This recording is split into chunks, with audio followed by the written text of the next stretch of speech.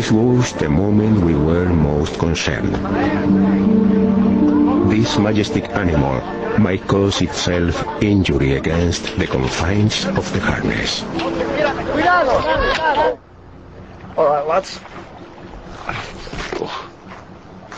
Oh, my madre.